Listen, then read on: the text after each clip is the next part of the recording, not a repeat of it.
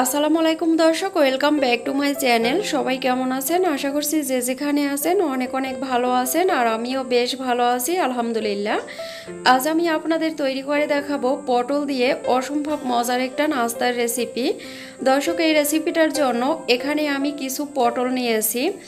এখন এই পটলের যে উপরের খোসাটা আছে, এটা একটা ছুরি দিয়ে এইভাবে একটু শেষে ফেলে দিতে হবে।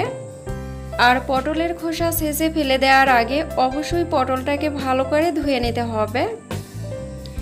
এইভাবে করে আমি সবগুলো পটলের খোসা শেষে ফেলে দিয়েছি।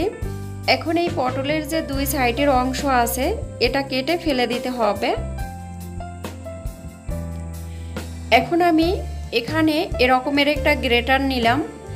এবার এই গ্রেটারের যে চিকন অংশটা আছে, এটা থেকে পটলগুলো গ্রেট করে নিতে হবে।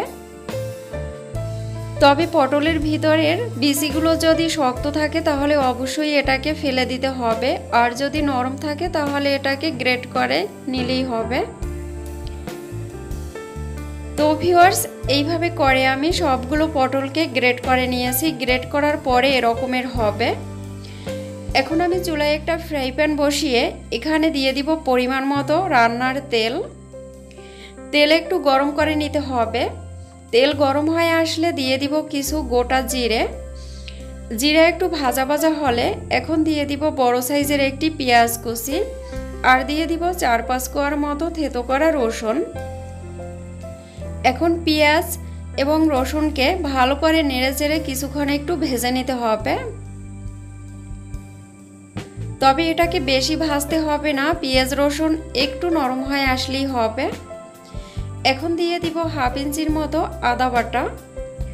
আদাকেও ভালো করে একটু মিশিয়ে নিলাম।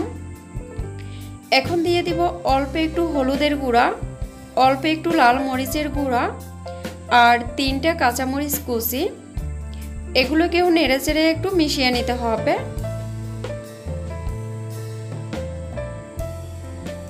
মশলাগুলো কয়েক সেকেন্ড কষিয়ে নেওয়ার পর এখন দিয়ে দিব গ্রেট করা পটল। পটলগুলো মশলার সাথে ভালো করে নেড়েচেড়ে মিশিয়ে নিতে হবে।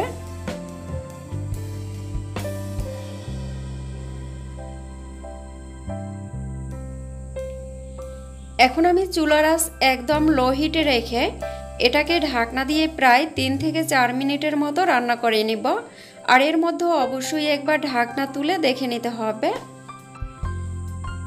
ফিরে আসলাম চার মিনিট পর ঢাকনা তুলে পটলগুলো নেড়ে চেড়ে দেখে নিতে হবে, এগুলো সিদ্ধ হয়েছে কিনা। যদি সিদ্ধ হয়ে যায়, তাহলে এখানে দিয়ে দিব একটি সিদ্ধ করা আলু। আলুটাকে আমি গ্রেট করে নিয়েছি। এখন দিয়ে দিলাম স্বাদ বুঝে লবণ। আলুকেও ভালো করে পটলের সাথে নেড়ে চেড়ে মিশিয়ে নিতে হবে।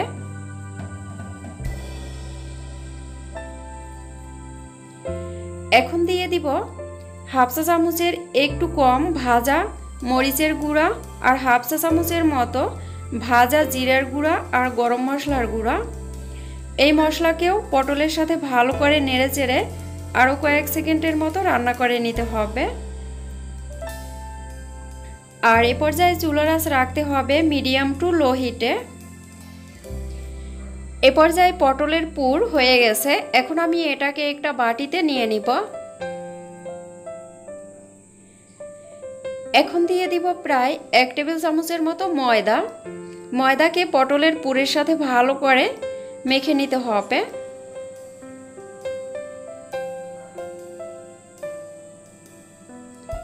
এখন আমি দুই হাতে সামান্য একটু তেল মেখে নিব। তারপরে এখান থেকে পরিমাণ মতো অংশ নিয়ে এইভাবে একটু হাতের মধ্যে নিয়ে গোল করে নিতে হবে। তারপরে এভাবে একটু লম্বাটি করে নিব। তবে আমার নাস্তাগুলো আমি এই রকমের করে বানিয়ে নিচ্ছি। আপনারা চাইলে কিন্তু আপনাদের পছন্দ মতো বানিয়ে নিতে পারেন। এইভাবে করে আমি সবগুলো নাস্তা তৈরি করে নিব।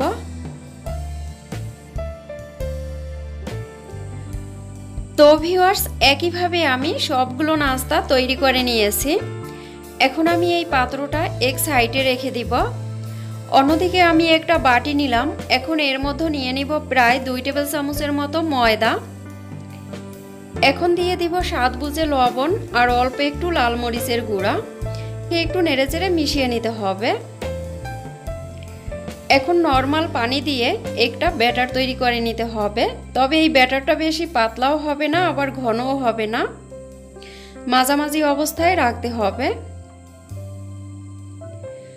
তো ভিওয়ার্স এরকমের একটা ব্যাটার হবে। অন্যদিকে আমি চুলায় একটা ফ্রাই প্যানের মধ্যে পরিমাণ মতো তেল গরম হতে দিয়েছি।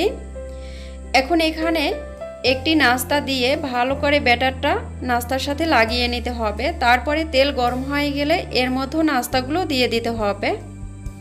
নাস্তাগুলো দেওয়ার পরে এই সাইড ভাজার জন্য দুই মিনিট অপেক্ষা করতে হবে। তারপরে এই নাস্তাগুলো উল্টে দিব। এইভাবে উল্টে পাল্টে প্রায় চার থেকে পাঁচ মিনিটের মতো এই নাস্তাগুলো ভেজে নিব। আর এই পর্যায়ে চুলার আঁচ রাখতে হবে মিডিয়াম টু লো হিটে।